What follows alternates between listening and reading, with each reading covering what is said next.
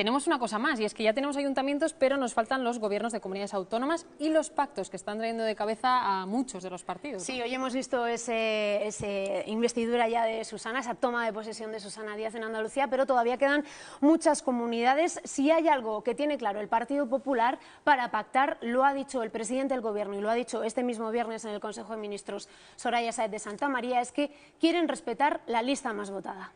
Esto me suena, esto me suena. Esto ya aquí ya lo hemos hablado. Esto de la, lista más votada casi suena maldita meroteca, ¿no? Pero verás por qué lo digo, porque parece que hay alguien que no se ha enterado. Vamos a ver. Igual no ven el objetivo.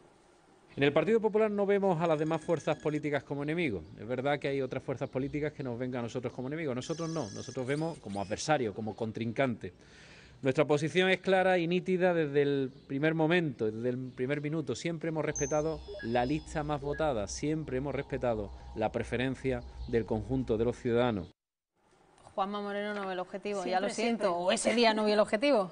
No, no lo vio porque recuerda que Pablo Casado lo decía, no lo ha vuelto a decir, eso es, verdad, Pablo Casado no lo ha vuelto a porque era falso, porque aquí tenemos, aquí tenemos los resultados. Vamos a comenzar con el País Vasco, el más reciente, año 2009, gana las elecciones el PNV con 30 escaños, pero se queda fuera del gobierno precisamente por un pacto del Partido Popular con el Partido Socialista. Muchos recordarán, lo vamos a ver ahora en imagen, al Endacari Pache López y cómo se quedaba con la presidencia del Parlamento Arancha Quiroga. Es cierto, y dirían, es un acuerdo especial porque es Euskadi, pero también recuerdo que dijimos que había muchos más ejemplos, al margen de esas imágenes que no hemos podido ver, creo, de Pachi López con Arancha Quiroga, que se quedó con la presidencia del Parlamento Vasco. Año 2007, gana las elecciones en Canarias el PSOE, pero un acuerdo del Partido Popular y de Coalición Canaria los deja también fuera del gobierno y ahí se quedaron con una vicepresidenta. Es verdad que Paulino Rivero fue el presidente, pero la vicepresidencia fue para José Manuel Soria.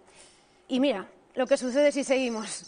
Se nos llena el mapa de pactos en los que el Partido Popular no ha respetado la lista más votada. Por cierto, hemos también incluido Alianza Popular, que es anterior, pero bueno, aquí queda. Pues ni uno, ni dos, ni tres, así que lo único que podemos decir, recuperando la frase, la frase de Juanma Moreno, que insiste, Juanma Moreno, que no, que no es verdad que siempre lo han respetado, será que les ha gustado cuando convenía y menos cuando no lo hacía, podemos decir que es falsa esa frase del líder del PP en Andalucía.